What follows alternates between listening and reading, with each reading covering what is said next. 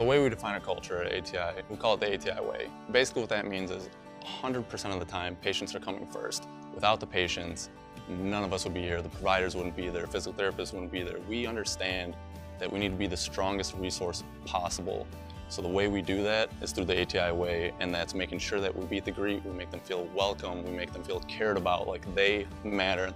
I can walk into any clinic and get the same vibe that is just very positive, and we relay that to the patients. It's much different uh, from any other organization that I've ever been associated with.